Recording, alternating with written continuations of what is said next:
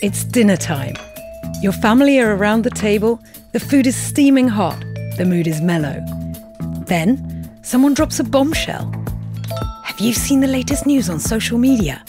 No, that's not true. It's a load of conspiracies. The debate begins, and the mood changes. Recognize this?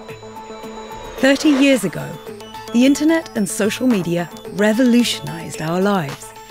It was a moment of real social change. Suddenly, voices that had never been heard became loud and clear. In recent years, malicious actors who want to silence those voices and polarize opinion are making social media a fertile ground for mis and disinformation, for hate speech and conspiracy theories. It's become toxic the very same tools that changed the world are now being used to tear us apart. And the problem doesn't stop there.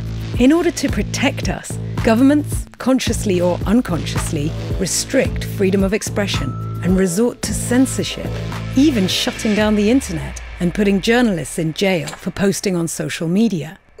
Meanwhile, digital platforms and tech companies stand by as harm is done.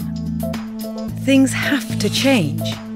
We need to allow people to participate in the conversation. We need reliable information, empowered citizens, and content which reflects a diversity of voices. So, how can we fix this? We all share the responsibility. This is why UNESCO has kicked off a global conversation. We held consultations around the world, and thousands gave us their feedback. Our goal?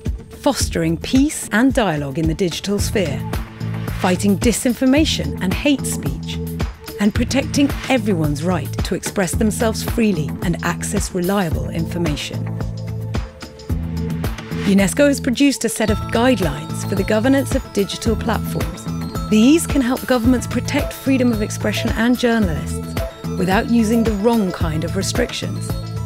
They're a tool for companies to manage risks and become more transparent, and for civil society and the media act as a watchdog when human rights are violated.